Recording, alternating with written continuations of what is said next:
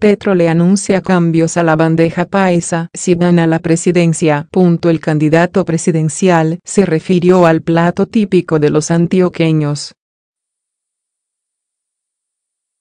En su gira por Medellín, el candidato Gustavo Petro presentó su propuesta económica y agropecuaria, Según dijo, una de sus prioridades es democratizar el acceso de la tierra a los campesinos del país y aumentar la productividad de miles de hectáreas que hoy están destinadas a la ganadería.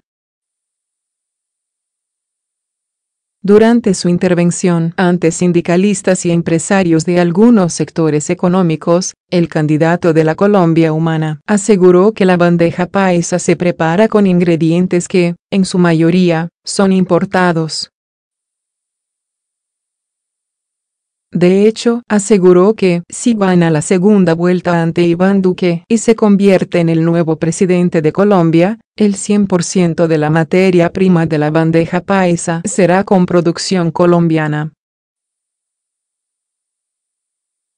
Cabe recordar que el tradicional plato de los antioqueños se prepara, generalmente, con arroz blanco, frijoles, arepa, patacón, huevo frito, aguacate, chicharrón, carne molida y chorizo.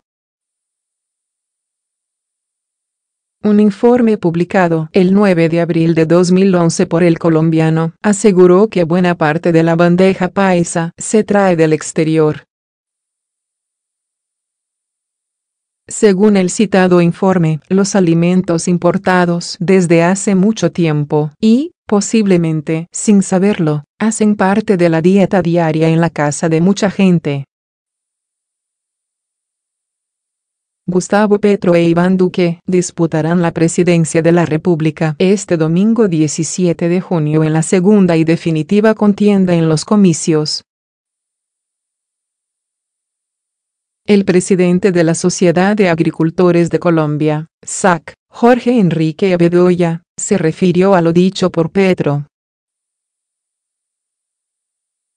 Según dijo, no es posible tener todos los productos nacionales, Prometer que la bandeja paisa será producida con producto colombiano es, de alguna manera, una falacia, señaló.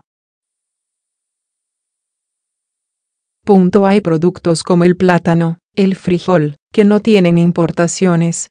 La papa sí ha tenido importaciones, el arroz y el chicharrón.